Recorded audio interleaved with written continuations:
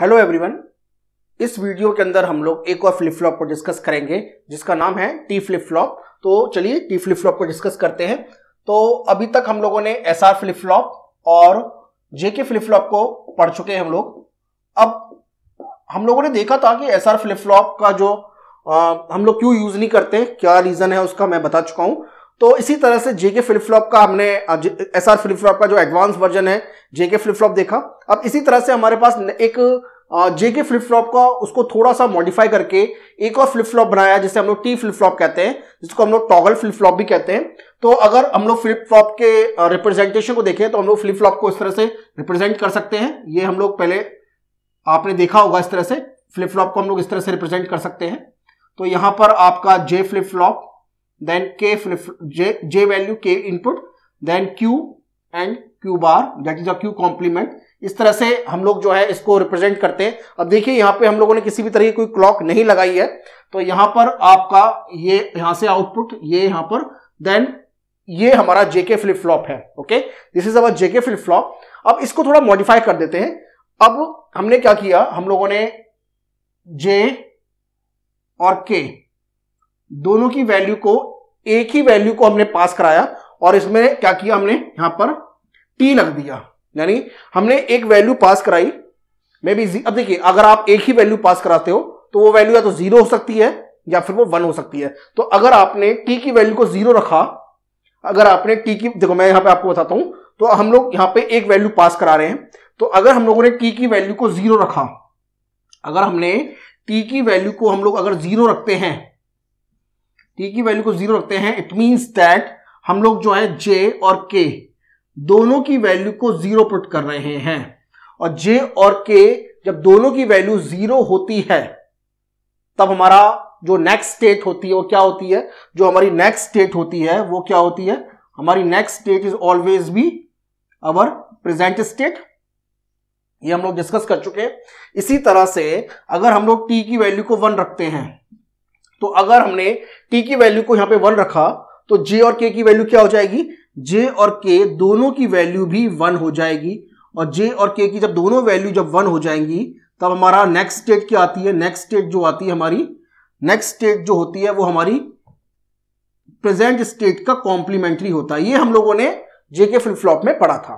तो इसी कॉन्सेप्ट को यूज़ करके हमने एक फ्लिप फ्लॉप बनाया है, जब जे और के की वैल्यू जो है ज़ीरो रहे और जे और के की वैल्यू जब वन रहे it mean that we are passing the same value on in the J and K input that's why it known as toggle flip flop so we are passing the value T is zero so in that case the value of J and K is zero so the next state the value of the next state is always remain the same that is equal to present state and if you pass the value of T is equal to one in that case the input values of the input value j and k are 1 in that case the present the next state the value of the next state is, is the complementary of the present value तो ये हम लोग देख चुके हैं मतलब ये इसमें होता है इस तरह से अब इसी को हम लोग क्या करते हैं पहले इसकी हम लोग इसी के अकॉर्डिंग जो है एक फ़ंक्शन टेबल क्रिएट करते हैं फ़ंक्शन टेबल कैसे बनाते हैं फ़ंक्शन टेबल क्या होता है, मैं आपको पहले बता चुका हूँ। तो सबसे पहले हम लोग जहाँ है, यहाँ पर फ़ंक्शन टेबल बनाते हैं। तो फ़ंक्शन टेबल में क्या होगा आपने टी की वैल्यू रखोगे और क्यू एन प्लस वन इस तरह से रखोगे। तो अब यहाँ पे केवल दो ही वैल्यू हो सकती है ज़ीरो और वन तो जब टी की वैल्यू ज़ीरो है और टी की वैल्यू वन है। तो टी की वैल्यू जब ज़ीरो है तो क्यू एन प्लस वन यानी नेक्स्ट स्टेट कितना होगा क्यू एन और जब टी की वैल्यू वन है तब नेक्स्ट स्टेट की वैल्यू क्या होगी? Complementary of the present state that is Q N तो this is our function table अब इस फ़ंक्शन टेबल से हम लोग क्या करते हैं? कैरेक्टरिस्टिक ट्रूथ टेबल बनाते हैं। कैरेक्टरिस्टिक टेबल बनाते हैं। तो कैरेक्टरिस्टिक टेबल के अंदर क्या क्या होगा हमारे पास? तो कैरेक्टरिस्टिक टेबल के अंदर अगर आप देखें तो हमारे पास इनपुट टी एज इनपुट होगा और present state that is Q N ये आपके पास क्या होगा? ये आपके पास होगा। तो ये आप क्यू एन प्लस वन तो इस तरह से होगा। तो zero zero zero one one zero one one तो अब हम लोग लिखते हैं। तो अगर हमारी टी की वैल्यू ज़ीरो है टी की वैल्यू ज़ीरो है तो what is the value of next state that is a Q N and what is the value of Q N that is zero Now, if that value of t is equals to 0 and the value of the present state is 1, so what is the value of next state? The value of the next state is again the what is the value of the present state that is a 1. So the value remain the same. Okay. Now again the value is 1 0 means the our value of t value is 1 and our present value is 0. So if the value of t is equals to 1 then the present then the value of the next state is the complementary of the present value that is that is 0 0 converted into the 1 and then the again same case with the this value of t. T is equals to 1 so whatever the what is the value of the next state? The next state is a complementary of the present state.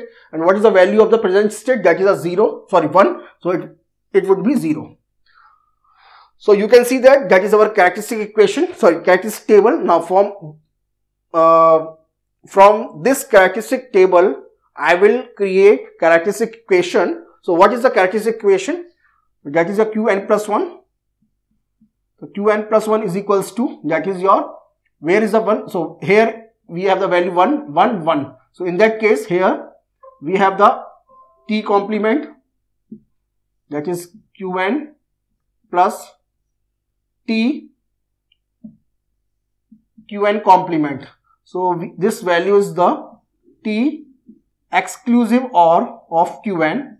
So what is the realization of this? So our characteristic equation is Qn plus 1 is that is this is our characteristic equation. So we can realize we can create the realization of this that is by this is our exclusive this is our exclusive OR gate and this is T and this is Q. This is T and this is your Qn and this is your Qn plus 1 okay. Now this is is nothing but the this value okay. So that is your because whatever the the present state, the next value always, the next state always give me the output if the, the input is the t and the another input is the present value. So this is the, uh, this is the implementation of this characteristic equation. So from this characteristic equation, we can easily create the, what we can call it as a excitation table. Now what is the meaning of excitation table? So excitation table is like if you have the Qn and you are, have the Qn plus 1 so you can predict the what is the value of t. So here 0, 0, zero one one zero one one so इस ही diagram से characteristic table से हम लोग जो है excited x excited table जो है उसे क्रिएट करते हैं। तो ज़ीरो से zero so what is the value of zero zero so whenever we have the that is a latch state now this is a latch and this is a latch what is the minimum latch latch is the value of the next state is remain the same with the that is uh, corresponding to the present state. So here both the values 0, 0 and 1, 1 that is a latch condition. So we can put here as a we can put so when the value of 0, 0 so what is the value of t? t value is 0 always 0 and when the present state is 1, 1 present state is 1 and Next is value of 1. So the value of t is 0. That is your same as of 0.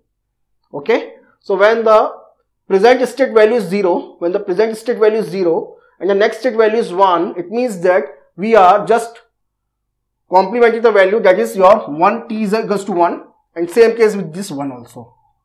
Okay. So this is your excited table.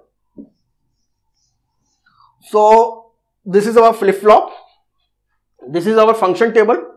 This is our characteristic table. It is our Cartesian equation. That is the implementation of this Cartesian equation. That is the realization of this Cartesian equation. And this is our excited table. Okay. So this is all about the T flip flop. और इसके ऊपर काफ़ी सारे questions जो हैं हम लोग करेंगे